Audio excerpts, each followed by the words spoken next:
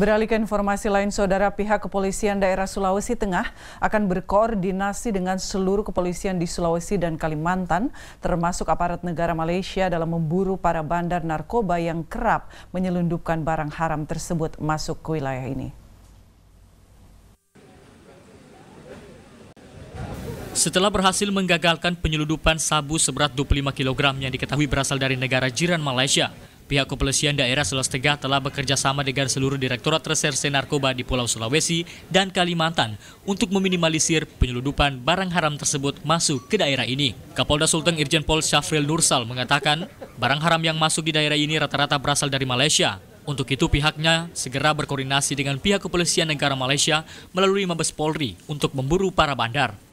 Bahkan juga karena kita lihat sumbernya itu juga dari Kalimantan Utara, saya juga meminta untuk dilibatkan dari Kalimantan Utara. Bahkan juga polisi Malaysia, supaya kita bisa bertukar informasi, saling bertukar informasi ya, untuk uh, bisa mencegah, meminimalisir terjadinya peredaran narkoba. Ya, Pihak kepolisian juga menyebut jika daerah ini telah menjadi salah satu pasar peredaran narkoba karena letaknya sangat strategis, sehingga mudah masuknya narkoba di wilayah lain. Sesuai data dari pihak Polda Sulteng, jika daerah ini telah menduduki peringkat keempat penggunaan narkoba terbesar di Indonesia. Rian Saputra, kontributor TVRI Sulawesi Tengah.